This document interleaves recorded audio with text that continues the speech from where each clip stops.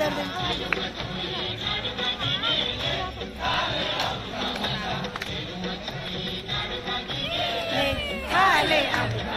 यहाँ देख हनी हनी पता नहीं किसको ढूंढ रहा ना किसको ढूंढ रहा पापा को ये देखो ये देखो ये ताई लोग हैं हनी के क्या हाँ और ये हमारा कॉलेज है देखो मैंने यहाँ से एम एस सी करा है कॉलेज हम्म, तो ये है मेरा कॉलेज।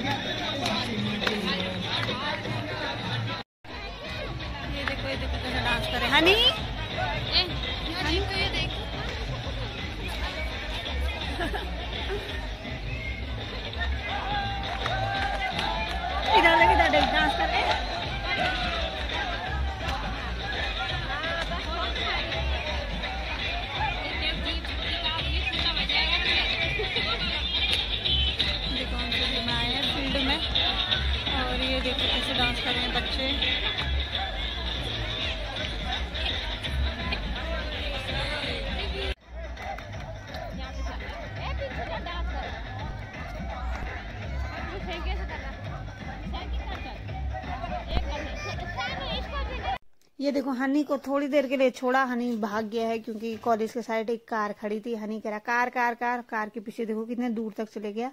और फिर वो दीदी की लड़की लेने गई हनी को उधर पे। हनी वहाँ पे गिरा भी, लेकिन तब भी। गुड इवनिंग आपने अभी देखा होगा, अभी थोड़ी देर तक जो वीडियो मतलब वीडियो में तो आज हम फिर गए थे घूमने उधर फ़ील्ड की तरफ़, और मैंने आपको दिखाया था थोड़ा। मत करहानी मेरे को हिचकी लग गई। मैंने चाय पी ना गरम गरम मेरे को हिचकी लग गई। और मैं बना रही हूँ एक कद्दू। ये भी एक टाइप का कद्दू है। कद्दू की सब्ज़ी थोड़ी सी गोभी बची थी कल की। परसों की थोड़ी सी गोभी कद्दू और आलू की सब्ज़ी बनाऊँगी मैं। तो, मैं हनी से बात कर रही हनी लगा है दरवाजे पे कुंडी मारने पे। जिस दिन से हनी ने कुंडी मारी है ना दरवाजे पे उस दिन से वो हमेशा कुंडी मार रहा है यार। परेशान कर दिया इस लड़के ने तो। और अच्छा लग रहा था उनका डांस आप लोगों ने देखा होगा। वो इसी तरीके से एक्सरसाइज करते हैं। एक्सरसाइज को थोड़ा इंटरेस्टिंग बनाने के लिए उन्होंने वो गाने के साथ एक्सरसाइज को के हाँ कहाँ गए पापा? हाँ हम्म, वॉश वॉशरूम गए ना पापा? वो मुझे कह रहा पापा उधर गए। कह के।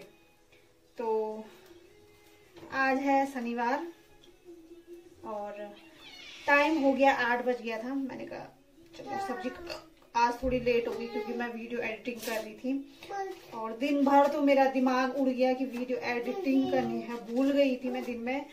और अभी कर रही थी। तो, तो मैंने कहा चलो आप लोगों के साथ बात करते करते मैं सब्ज़ी भी कट कर लेती हूँ। तो इसकी सब्ज़ी वैसे मुझे उतनी अच्छी खा, खास अच्छी नहीं लगती है लेकिन क्या करें?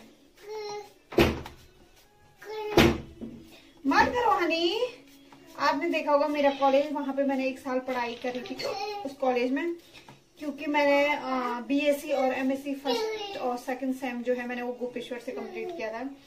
तो यहाँ पे मुझे आ, आना पड़ा। मैंने थर्ड सेम में यहाँ पे ट्रांसफ़र करवाया था क्योंकि हनी के पापा यहीं पे जॉब करते तो मेरे सास ने कहा वहीं जाओ। हो मैंने कहा चलो हो जाएगा। फ़ोन नीचे गिरा दिया था उसमें फ्रीज हिलाया तो फ़ोन नीचे गिर गया था।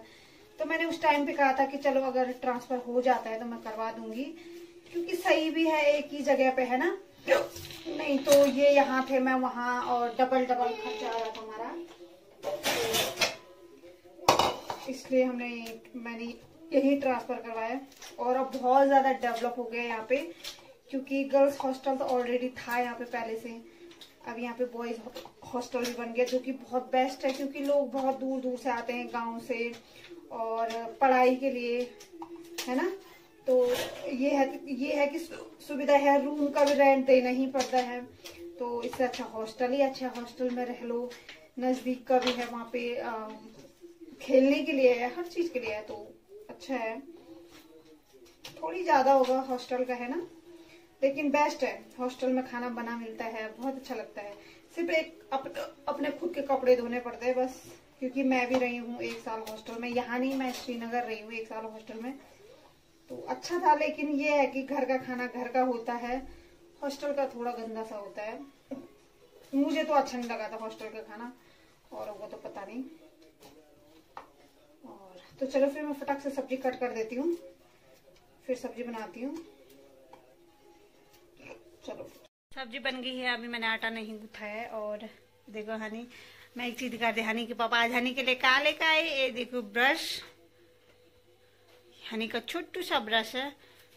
थोड़ा मैंने सोचा थोड़ा स्टाइलिश लेके आएँगे, लेकिन मिला नहीं।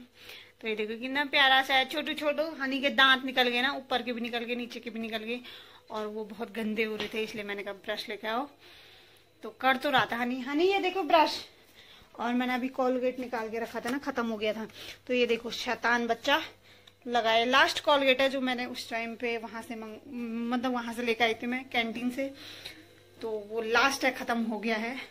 साबुन अभी बचे हुए हैं, चाय पत्ती भी खत्म होने वाली है कैंटीन की। बहुत चल गया लगभग। कब लेकर आई थी होंगे यार मैं? मैं फरवरी में लेके आई थी शायद, मुझे लग रहा उस टाइम से चल रही है चाय पत्ती। और ये हनी का ब्रश, हनी का छोटू सा ब्रश, देखो हनी। तो ये अच्छा लगता है ना जब हम अपने बच्चे के लिए कोई भी चीज़ पहली बार लाते जैसे मैं उसके लिए पानी की बोतल जब पहली बार लेके आए थे तो हनी के पापा ने तो कहा था कि इसको कैसे करके पीते हैं, लेकिन हनी ने उसी टाइम पे पी दिया था कि जो चीज़ जिसके लिए बनाई रहती उसी को पता रहता, भले वो बच्चा है। और आज ये पहली बार हम लेके आए उसके लिए ब्रश तो ये शुरुआत है दांत साफ़ करने की। और आज मैंने ये मिक्स आटा निकाल रखा है, क्योंकि थोड़ा सा बचा था मंडुई का आटा। मैंने कहा, चलो आज मिक्स रोटी बनाती हूँ दो तीन दिन से। मैंने बीच में बंद कर दिया था मंडुई की रोटी बनाना। मतलब मिक्स रोटी बनाना। तो मैंने कहा, आज थोड़ा बचा हुआ है, इसको खत्म कर देते थोड़ा तो अभी बचा हुआ है, ये देखो। तो आज मैं बना रही हूँ मिक्स रोटी और तो चलो फिर आटा गूंदते और इंडियन आइडियल का फाइनल चल रहा है, कल हो जाएगा ग्रांड फिनाले तो हनी ये देखो, शैतान, क्या काम कर रहे हो, ए? निकाल दो इसको बाहर। ए टूथ ब्लच ये कहा है? टूथ ब्लच सॉल्ट ये मुझे बहुत अच्छा लगता है, ये वाला कॉलगेट। है ना, हनी?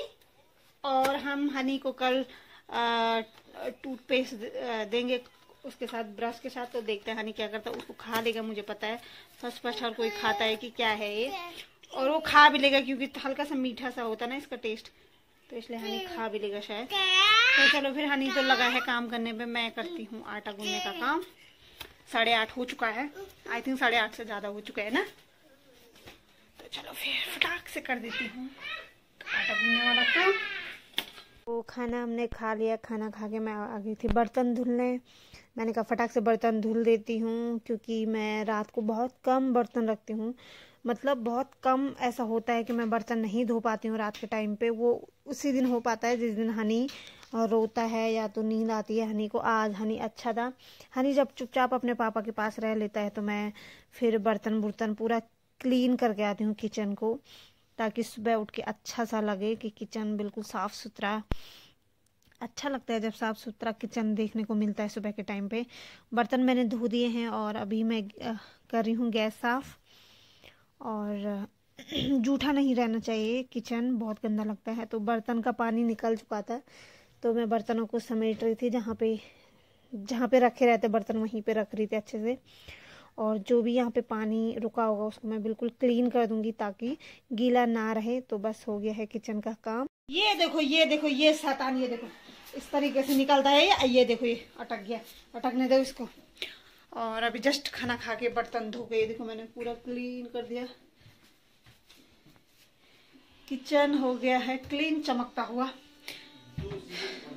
बहुत अच्छा लगता है जब सुबह उठते हैं ना तो बर्तन बुर्तन सब साफ़ किचन बिल्कुल साफ़ सुथरा, बहुत, वो खुशी बहुत अलग होती है। बहुत सारे लोग देखे हैं मैंने जो रात को बर्तन नहीं धोते हैं। कभी कभार मैं भी नहीं धोती हूँ। मेरी प्रॉब्लम ये रहती है कि हनी कभी बहुत ज़्यादा परेशान कर देता है, इसलिए मुझे छोड़ना पड़ता है। और, क्योंकि आप लोगों को मैंने बताया वो बोतल से दूध नहीं पीता है तो उसको सुलाने के लिए मुझे ही जाना पड़ता है, क्योंकि मैं फ़ीड करवाती हूँ। तो दूध पीते पीते सोता है वो, और इसलिए पानी पी लेती हूँ।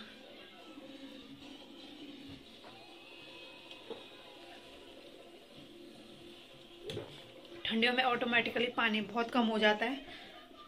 पीते ही नहीं है ऑटोमेटिकली कम हो जाता है मतलब शरीर में तो हो ही जाता है, लेकिन पानी पीना भी कम हो जाता है।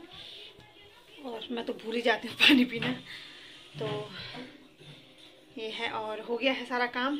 हनी, आपने देख दिया होगा कितने सारे बदमाशी कर रहे हैं। अभी भी वहीं अटका हुआ है, दिखा देती हूँ आपको। तो ये देखो, ये अटका हुआ है वहीं पे। वैसे रहेगा, निकलेगा, फिर जाएगा, फिर निकलेगा, फिर तो चलो फिर मिलती हूँ मैं कल नए ब्लॉग के साथ, नए दिन के साथ। अगर आपको अच्छा लगे तो एक लाइक ज़रूर कर देना और कमेंट भी कर देना कि आपको कैसा लगता है मेरे ब्लॉग्स। और अगर आप नए हो, पहली बार देख रहे हो तो प्लीज़ मेरे चैनल पे जाइए और भी वीडियो लगे। अगर देखे, अगर आपको अच्छे लगते हैं तो सब्सक्राइब ज़रूर कर देना मेरे चैनल को। तो चलो फिर मिलती हूँ कल, तब तक के लिए बाय गुड नाइट